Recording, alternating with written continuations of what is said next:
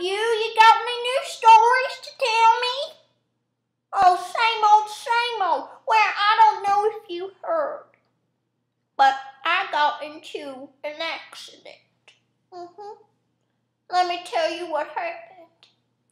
I was going to Wendy's to get a junior bacon cheeseburger, my Sunday favorite.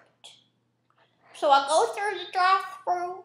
I get my junior bacon cheeseburger and a junior frosty.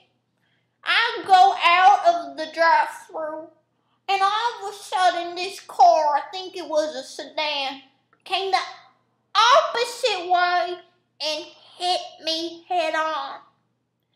So I had the junior bacon cheeseburger in my hand ready to eat, and when he hit me head on, it the burger went into my mouth, and then I started choking on it. So not only did my airbag deploy, I got a junior bacon cheeseburger lodged into the back of my throat, and I was choking. So the man, I don't know what he was doing.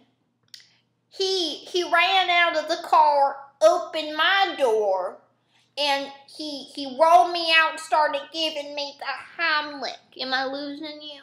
Okay. He's giving me the Heimlich. I'm choking on this burger. He gives me the Heimlich. I cough it out. I cough it out, and I, I, come to and I look at my car. I said, you know, thank you for saving my life, but what were you doing?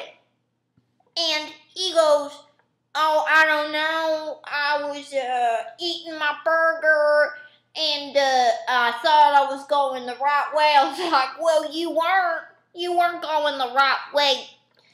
Oh God! And so he he he says, you know, maybe we we don't have to involve our insurance companies. And I said, ugh, yeah, right.